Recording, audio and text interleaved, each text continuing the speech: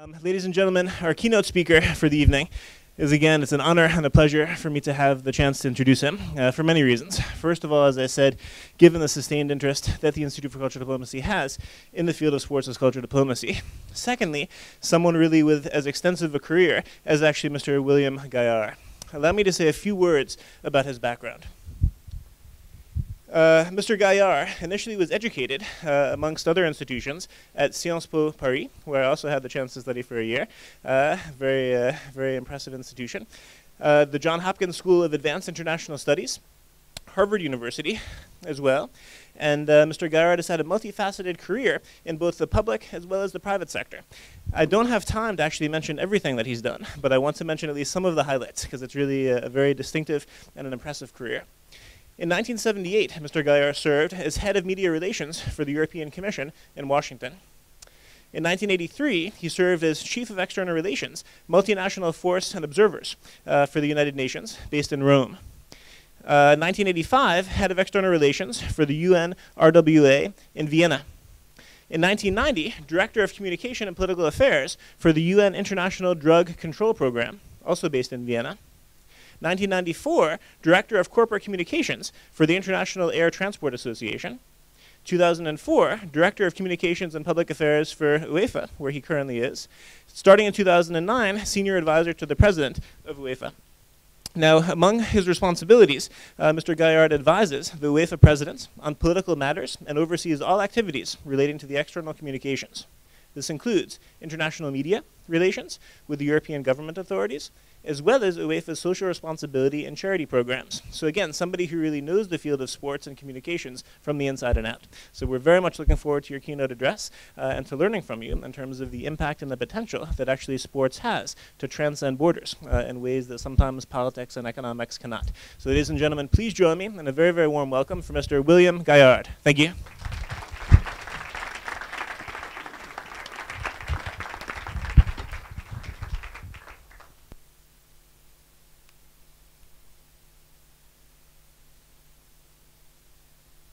Tonight. Um, I'm sure for you it's an unusual topic, so we'll try to combine the two uh, and uh, uh, try to make an impact uh, among ourselves on the issue of sports and the way it relates uh, to the historical uh, developments between nations. There is, of course, a very ambiguous relationship between uh, football uh, and, and Europe. It's an ambiguity that goes back to the idea of territory, boundaries, and, and ethnic groups. And I hope you will forgive me if I go back a little bit uh, in history in order to trace uh, that, uh, that relationship. Football is, is very much like uh, jazz or, or cinema, a function of uh, modernity. It is also uh, a cultural expression in Europe of the working classes. I think the social origins of, of football um, are very clear, both uh, in the UK and uh, on the continent. The growth of football is also closely linked to the principle of nationalities and the idea of, of self-determination. At the same time, Europe is essentially uh, a postmodern concept, as opposed to football, which is very much of a modern uh, idea. And it's a postmodern concept that is expressed essentially uh, by an elite. And it is increasingly linked to uh, the idea of globalization and uh, the dominance of, uh, of, market forces, and in particular, financial capitalism. So the 19th century, where it all began, is, as you know, uh, the century of the nationalities, the century also uh, of nationalism. And if we go back to uh, the theoreticians of, of nationalism uh, at that time, uh, be they uh, Herder, Fichte, or, or, or Renan, in France, when they define what constitutes a people, they look at many cultural factors.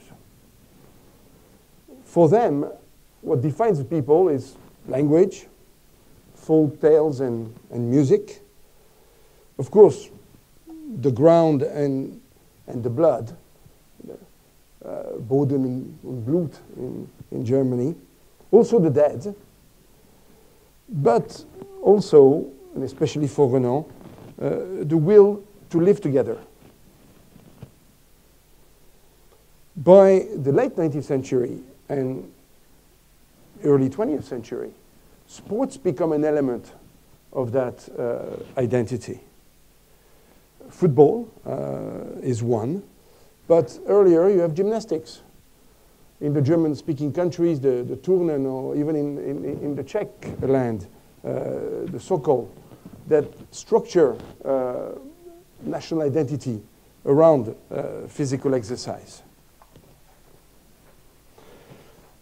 I believe that uh, the Austro-Hungarian Empire is, is a great uh, open lab for trying out uh, concepts related to uh, sports and, and, nationalities.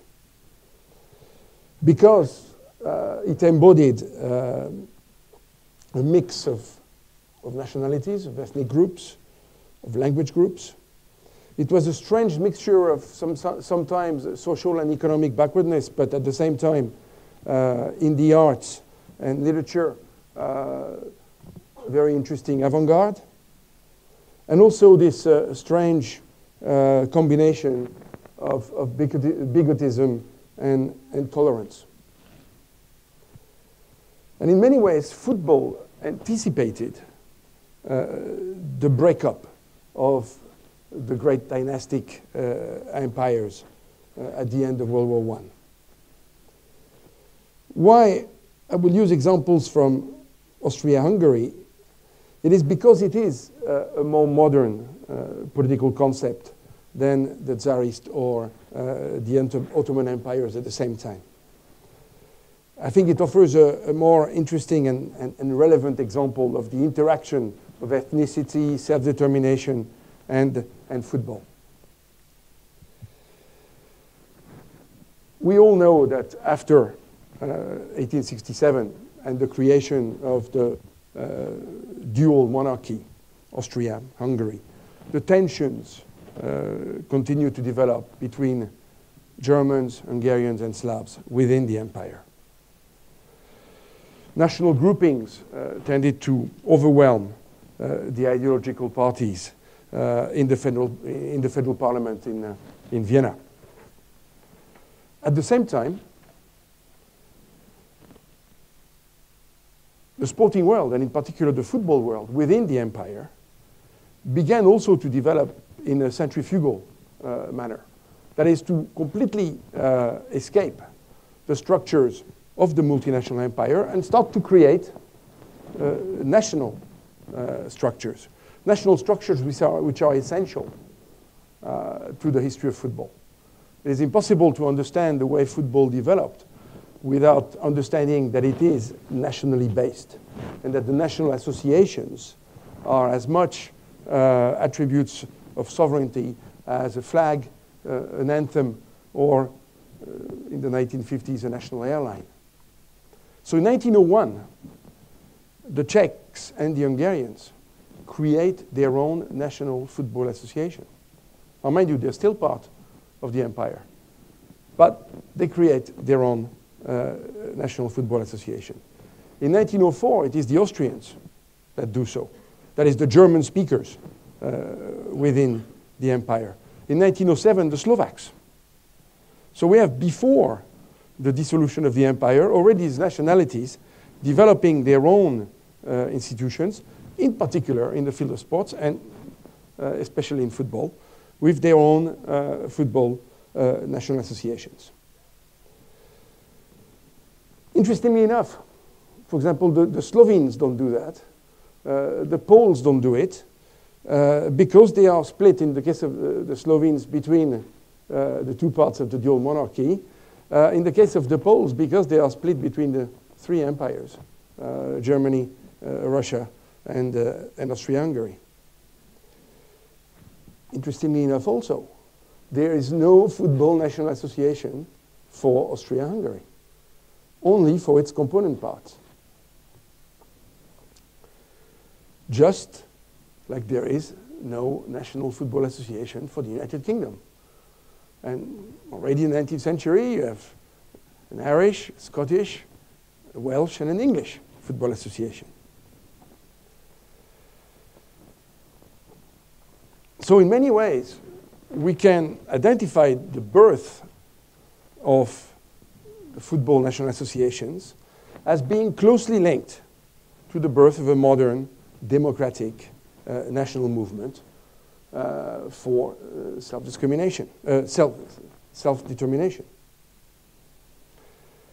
But already, we noticed at that time tensions that develop between uh, the different models of conceiving uh, sports and the impact of what I would call a kind of a national uh, straitjacket. And for example, the Austro-Hungarian authorities decided that this was not too healthy. The way football was actually identifying itself with the different ethnic group without identifying itself with the dual monarchy. So in 1897, there was an attempt to remedy the situation, and a challenge cup was created. It was the only way in which clubs from Vienna, Budapest, and Prague could play football together. Because otherwise they would be playing in their own national leagues. That is, the leagues that were very much linked to uh, the ethnic groups in the empire. Now, the competition uh, did not have a great success. But in 1903, uh, something extremely strange uh, occurred, which in many ways illustrates uh, the very odd relationship between nationality uh, and football. The final of the German football championship opposed Leipzig and a club called DFC Prague. Now, Prague, of course, uh, did not uh, belong to Germany. Prague was still one of the main cities of the Austro-Hungarian Empire. And therefore, we could expect either a team from Prague to play in the Czech League, which already existed, uh, or to play uh, with its uh, Viennese uh, counterpart. But instead, it played in the German championship. Now, the club was made up of German speakers. About a fifth of the population of Prague at that time was uh, uh, were, were, native German speakers, and uh, most of them uh, Jews. And there are very famous examples of uh, uh, the cultural impact of Prague Jews on German literature at that time. People like Franz Kafka or, or Max Brod. Now, half the team of uh, DFC Prague was actually uh, Jewish. And at the same time, uh, in the empire, uh, the Jews that usually uh, represented the German speaking element began to also develop their own football teams.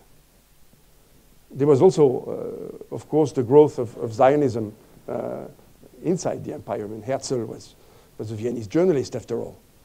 Uh, and so you have Hakoah, which is uh, Jewish football team in, in, in Vienna, and uh, MTK in uh, in Budapest. And then later on, Austria Vienna uh, would also be closely linked to, uh, to the Viennese Jewish community. Now, 1918, the empire breaks up, and then the national straitjacket gets much tighter. And, and, we see after 1918, 1919, 1920, all the national associations in Central and Eastern Europe being created following the independence of all these new all these new states. What is interesting is that suddenly we saw football before the breakup of the empire being part of that process. And in 1927, we see football being part of a certain amount of uh, uh, back trading, uh, and the creation in 1927 of the Mitropa Cup, that is a football cup between clubs of the former Austro-Hungarian Empire, which is, you know, quite odd. This is nine years after the breakup of that empire, and you remember there were really no competitions within uh, the empire that brought teams from, from Prague, uh, Vienna, or Budapest together, apart from the failed attempt at the, at the Challenge Cup. Now, the Mitropa Cup was played before and after World War II. It grouped clubs from Austria, Czechoslovakia, Hungary, uh, Italy, uh, and, uh, and Yugoslavia. And the Mitropa Cup survived until 1990 and the breakup of Yugoslavia. There is a further breakup along ethnic lines uh, of a multinational uh, state.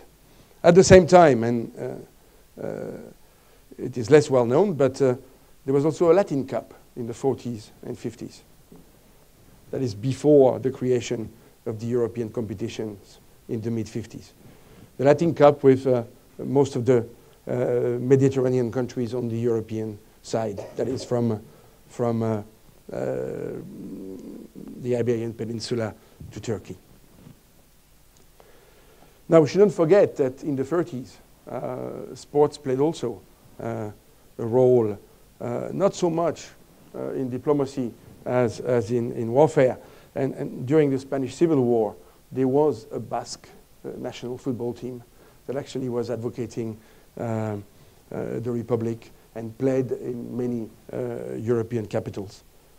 And just jumping uh, slightly ahead in the 1950s, the National Liberation Front of Algeria also created its own football team, which also played uh, practically all over the world.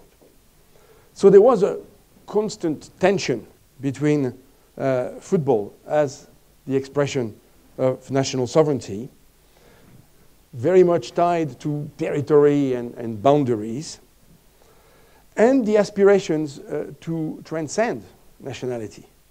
And these aspirations, of course, led to uh, European construction, but also were a kind of an interesting match with what was going on inside uh, the organized working class with uh, uh, proletarian internationalism, uh, both of the communist and, and social democratic kind.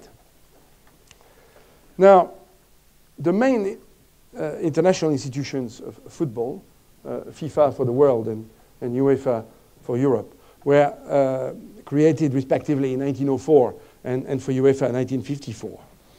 And they've always been extremely ambivalent uh, about this relationship between uh, territory, national boundaries, and, and supranational states. Now, FIFA was, was there when the ethnic groups of the uh, Habsburg Empire were creating their own national associations. And FIFA actually recognized those national associations in the early years of the 20th century. But at the same time, it always put its emphasis on the national identity within recognized uh, borders and territory uh, of the football institutions. So when the Rome Treaty was, was signed in 1958, there were a lot of ambivalent feelings uh, in the football community. Some people even feared that uh, the European community, as it was known at that time, would actually abolish the national teams. And I hear some of my colleagues who are still uh, living perhaps a little bit in the past expressing that fear almost on a daily basis. So there's no doubt that the, uh, the new institutions, the new European institutions, were met uh, with cultural distrust by, by the football uh, institutions. There was a very strange cat and mouse game that was played in the 60s, 70s, 80s between the European institutions and the footballing authorities. Uh, to quote uh, a rather unfortunate uh, phrase by uh, Senator Moynihan in, in the States, uh, which I find useful in this context. What was happening uh, between the European institutions and football was a situation that I would call benign neglect. That is, you exist, but we don't look at you. And that went on uh, until the mid 1990s. Football stuck to its idea one country, one national association, which was basically the position it had in 1918. And Europe ignored football. And then came something that, if you're not interested in football, you probably have never heard of. But if you are interested in football, was probably the major institutional event uh, that occurred in the past uh, uh, 40 years. That is uh, the European Court of Justice uh, Bosman uh, ruling, which I can characterize easily because I've seen its impact on my colleagues as a traumatic experience for football. And why a traumatic experience for football? Because it stated very clearly that the free movement uh, of citizens uh, within the European Union obviously also applied to sports. Free movement of players, it meant for football. And it did revolutionize football. But there is a kind of false consciousness in the football institutions, both at FIFA and UEFA. To date, everything from Bosman. I think that what really changed football is that in the 1950s, clubs and national associations used to pay the TV networks in order to show the games on television. And by the 1990s, the clubs and the national associations were making millions selling the matches to uh, the broadcasters. But in our false consciousness, we identified the big change as the Bosman ruling and the free movement of players. So we developed our own internal contradictions with, on the one hand, national associations remaining, remained tied to boundaries and territory, and the clubs behaving more and more like multinational institutions. And in the middle, you had the national leagues, that is, the organizations that actually put together the national championships, kind of stuck between the clubs that were playing in them and the national boundaries in which they were confined. And I think this is the, the great contradiction that exists in, in today's football in its relationship with, uh, with Europe. It is the fact that you have the free movement of players. The clubs are increasingly multinational with foreign owners, foreign coaches, uh, foreign players. And then the existence uh, survival of national associations and national teams. And the European Court of Justice has something to say about that because it recognized twice uh, the legitimacy of the organization of national teams, provided that playing for the national team remained an unpaid activity. That's something that many people in football don't know. But this is the, the restriction. As long as playing for your national team is something you do out of your own goodwill, then it's fine.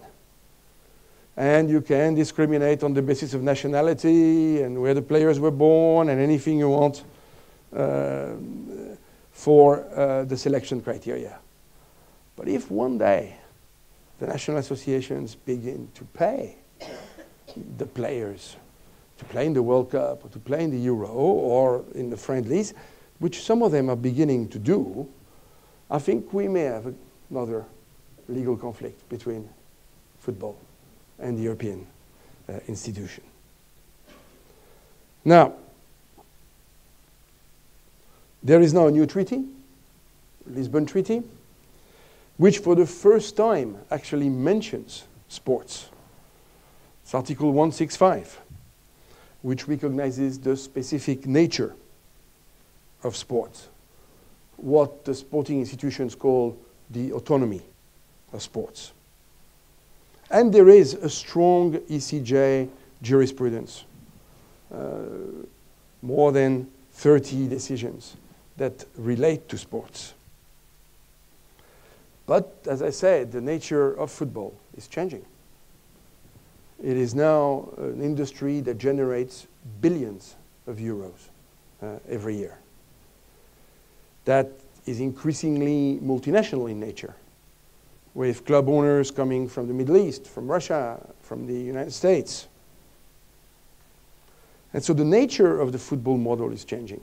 The nature of the relationship of football with ethnicity, identity, and nationality uh, is changing. And one may wonder whether we are not uh, slowly but surely moving towards what is the, the US model, where uh, sports is basically an economic activity like uh, any other. This is something that the football institutions are strongly resisting today. But they are living this contradiction is a, in a rather uh, traumatic uh, fashion, and so are the football fans uh, all over Europe. Now, I hope I contributed uh, something to the cultural debate, because I believe that uh, the sense of identity uh, that people still have uh, in Europe, in spite of the changes in their daily life that are being conditioned uh, from outside the national territorial boundaries, often expresses itself uh, in football because of its passionate uh, uh, context. And in many ways, one can look at football as a kind of a barometer of the feelings uh, of the people. And today, we see in football the enormous impact that immigration is having uh, in Europe. Where in most local clubs today, uh, the bulk of the children that are playing football, just like it was in the early 20th century when migrants constituted uh, the bulk of the playing population, well, it is true uh, also today. So other cultural issues are emerging within the world of football between the mainstream culture and the culture uh, of minorities. And all that will have to be reconciled if uh, peace and an harmonious development can be uh, sustained uh, within the wider uh, European context. Thank you very much.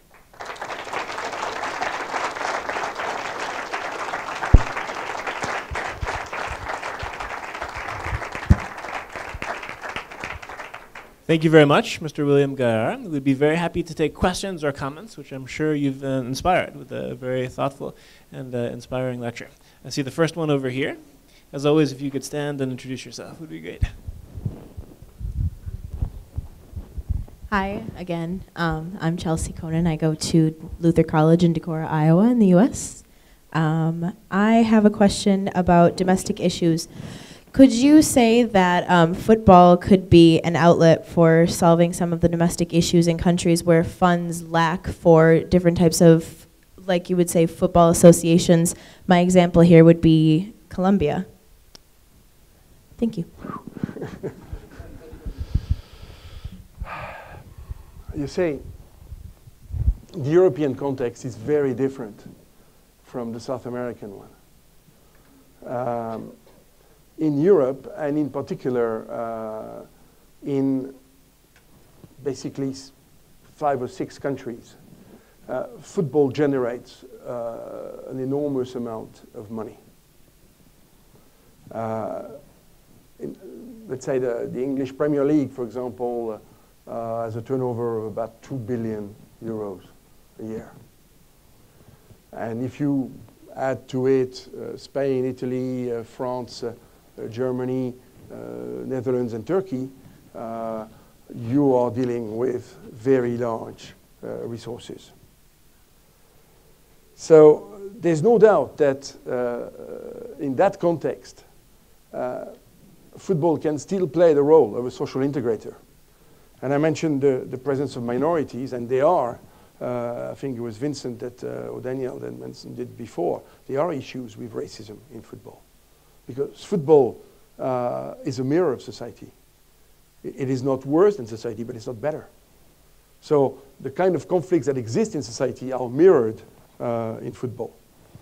Now, Colombia is, is a complicated case because uh, Colombian football does not generate uh, anywhere near the kind of income uh, that European football uh, uh, brings out.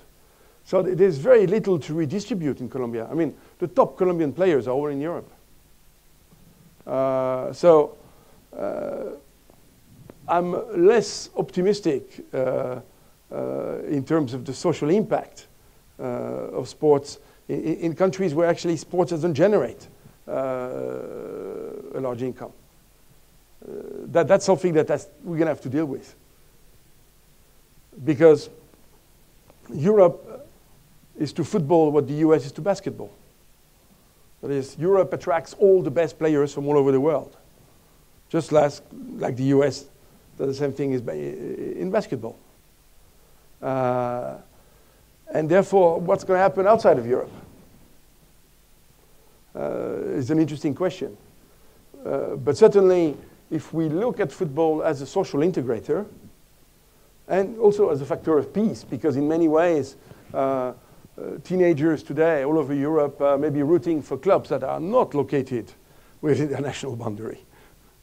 This is very, very common. It's a new phenomenon, but it's very common. Just like someone in New York maybe uh, supporting the LA Dodgers, or uh, you have people in, uh, in Sweden who, who root for Liverpool. Uh, or other clubs. um, so uh, we have to be careful uh, in not extending an analysis beyond the, the European continent. Okay, please. Football and sport could integrate, but football could disintegrate.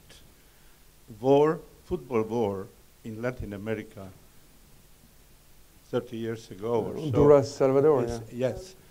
Uh, final match in Brussels, Liverpool and, and Milan or in Juventus, Juventus, Juventus yeah. had close or more than 40 persons being killed on the stadium. I'm victimologist dealing with the victims. I have some knowledge about it very, these are dark side of the positive things as a sport. What's your position?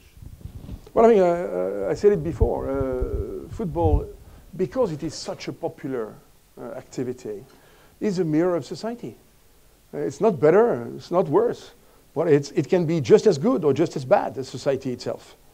Uh, what I tried to show uh, in, in, my short lecture was actually of course, football always played that role of integration, disintegration. I mean, football contributed to the disintegration of the dynastic empires uh, after World War I. It started even before the war, of course, as I, I, think I showed. And then, after the war, I started to have a nostalgia for, uh, for the things that were no longer there. Uh, I mean, you can have some uh, dangerous, what the Italian would call irredentism, uh, linked to football. If you go around and look at the names of certain football clubs, you will understand that certain old conflicts are, are not over. Uh, I'll just give you one example. There's one of the top Greek clubs called itself uh, AEK, and the K stands for Constantinopolis, Istanbul. so it harks back to the days of uh, uh, the Asia Minor crisis of the 1920s and refugees from Izmir and so on. So, uh, so food, one has to be careful because sports has both qualities. It can bring people together, but it can also divide them. Yeah, sure, sure. But there, there you have a situation in which uh, something outside sports intervenes in sports. But, but the fact is, uh, the breakup of Yugoslavia, uh, one of the contributing factors was the riot in Zagreb. Uh, Boban, Boban, the, the Dinamo Zagreb uh, uh, Red Star Belgrade game. And then you have people after that start to regret it. Uh, you know, Robert Prosinecki, who is a Croat today, coaches Red Star Belgrade, and he says, you know, in some ways we were happier before. Uh, so all these contradictions are there. Okay, there was another, actually now we have many questions, but I think uh, Ambassador Karl Erik, I think you were first. Hello, uh, Karl Erik Norman, uh, Secretary General of the European Cultural Parliament. I have two uh, uh, quick questions. Uh, one, yesterday, uh, Mr. Touré, who is a, pl player of Manchester City, said he has a dilemma when he has to choose between the league, which is going on normally in winter, and the African Cup, where he is supposed to represent the Ivory Coast. Is this a dilemma, or should it be a self-evident thing for a player to go back and play for his country? The second discussion, the second question, a little bit more tricky, perhaps particularly for you as a French. Um, last week, uh, it was 1-1 uh, half time between Lyon and Zagreb. Uh, at the end of the match, it was 7-1. Uh, and of course, we are all very suspicious how this could happen. Is there anything in the structure of the, uh, uh, of the Champions League that can be changed in order for us not to have to be suspicious in such connections? Thank you. Well, these are two very different questions. I think the, the first one, you uh, answered it yourself. On the one hand, you can very well understand the professional interest of the players. On the other hand, it's obvious that the football institutions say, but your overall loyalty shall go to your national team. But he says, look, I'm also a professional. I have a job. They pay me. You don't. That's the, that's the big contradiction that exists today between clubs and national associations. That is not solved. Now, the second one is a much easier one. Uh, um, we monitor matches through partners that are the betting companies, including the private betting companies. And we know, usually, if matches are fixed, it is because someone is trying to make some money. And it's usually linked to betting. There were no abnormal betting patterns that night. And I can remind you that uh, at the beginning of the season, Valencia beat Genk, the Belgian champions, 7 0. Things like that happen. The only way that we can make sure that we don't get too many of these very wide scores would be to restrict the access to the Champions League. And this is exactly what we don't want to do because we want the Champions League to be as representative of European football uh, as it should be. And this year, among the last 16 teams that have uh, qualified for the knockout round, which will take place starting in February, for the first time, we have a Cypriot team, Apoel. Not only they participate, but they won their group, so they'll be seeded. so things change also in football, even at the club level. Okay, I think we have time for one more question. I'm not sure who is first. Maybe on this side. You already asked a question, so we should have someone else. Let's go to the back, maybe, if we can. Thank you. Um, Mr. Garron, I very much enjoyed your speech. I thought it was very interesting. Um, I just want to pick out one point. Um, you describe football as a mirror of society. Um, there are some people that might question that. They may say that in terms of homophobia, racism, sexism, and violence, is actually considerably behind the rest of European society. How would you address an issue like that? Well, first of all, we cover a very large Europe. a Europe of 53 countries. So whether collectively on these issues we are behind, let's say, the European Union, uh, perhaps. Whether we are behind uh, the Europe of 53, uh, I doubt it. I think it mirrors the Europe of the silent majority, if I can use a, a term that I don't like, but uh, expresses rather well what I mean by that. That is, there is an elite Europe, uh, the one that believes in Europe, actually. And I mentioned before the conflict between uh, the modernity of football and the post-modernity of Europe, between uh, uh, the masses on the one hand and, and, and, the elite. So it's true, the European elite has uh, at least solved a lot of these uh, prejudices and problems that you mentioned before. I think that uh, in the last decade we have tried uh, our best at coping with those issues. I think we have coped well with the issue of racism. And because we attack the phenomena, I think society has made progress, especially uh, in, in, the less uh, privileged uh, classes of society in Europe. I think the prejudice uh, is being rolled back thanks to the example of football.